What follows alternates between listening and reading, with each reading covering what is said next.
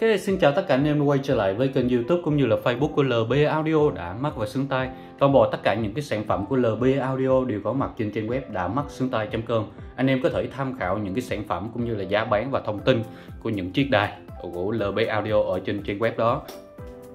Ok, giới thiệu với tất cả anh em là con Toshiba 8007 được bệnh danh là Thiên Nga Đen ở Việt Nam và cái dân Mỹ người ta chơi nó gọi là Attach Bombit X1 chúng ta thấy ha có cái chữ Bombit X1 đây. Bởi cái chất âm của em nó đem lại cũng như là thiết kế không giống ai đến từ thương hiệu Toshiba này. Em này vì sao được gọi là thiên nga đen? Tại vì em này có thể mở ra như này.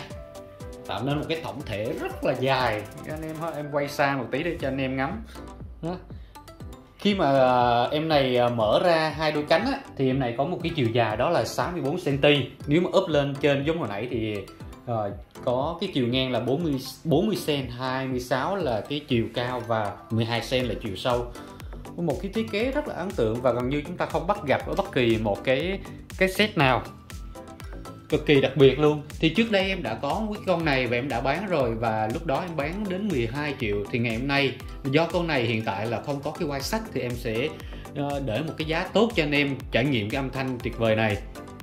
Con ờ, Toshiba 8700 Ok, chúng ta sẽ đi đến từng chi tiết một để nói về cái con 8700 này. Thì em này được sản xuất vào năm 1979 đến hoặc là năm 1980 và được đánh dấu là một trong những cái thiết kế đẹp nhất ở thời điểm đó. Thiết kế đặc biệt ha. Chúng ta thấy ngay chỗ này sẽ có một cái đèn vu thì à, radio thì cũng đã kéo lên tần số là 108 rồi. Đó, 90 đã kéo full tần số và ngay chỗ này chúng ta có hai cái chế độ âm thanh cực kỳ đặc biệt. Hồi nãy em có test cho anh em nghe thì chúng ta thấy được là à, cái âm thanh nó thay đổi như nào. Rồi ok bây giờ em sẽ test cái khả năng chơi âm thanh của em nói cho anh em nghe. Ở phía đằng sau để kết nối với phần loa này phần loa này chúng ta sẽ lấy rời ra luôn. Để chúng ta có thể sắp xếp nào tùy thích của chúng ta và có cái cổng này hơn nhìn nó rất là tube và chúng ta có cổng lay in lay out sử dụng điện 100V và cổng DC là 12V ok bây giờ em sẽ test cái chất âm của em nó một lần nữa cho anh em nghe ha. Trước mắt thì bây giờ em sẽ test radio đi thay đổi một tí. Em cũng không biết phải làm sao nữa chị. Tại vì mình nhận cái phẩm về rồi bị vậy cái mình thấy mình bức xúc gì đâu mà mình về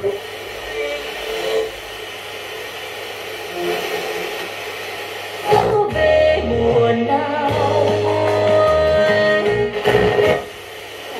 Đợi chờ là hạnh phúc cùng với phần trình bày của Akira Phan và Jolie Nguyễn. radio mà âm thanh cũng hay ok.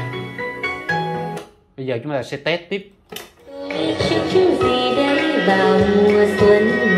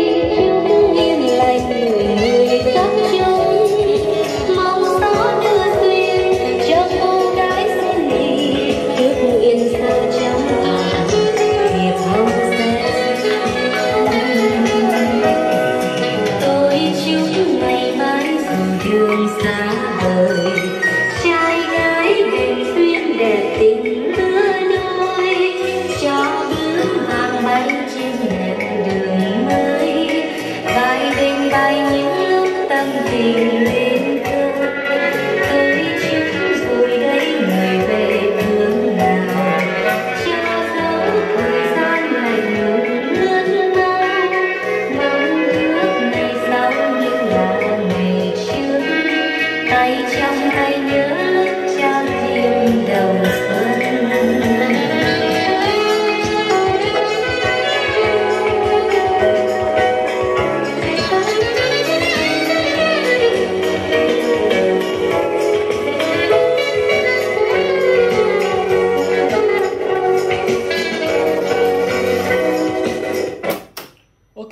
Cảm ơn tất cả anh em đã chú ý lắng nghe và hẹn gặp lại tất cả anh em ở những video tiếp theo. Nếu thích clip này hãy like, subscribe, đăng ký kênh YouTube của LB Audio để có thể cập nhật những cái sản phẩm mới nhất cũng như là đầy đủ cái thông tin và giá bán.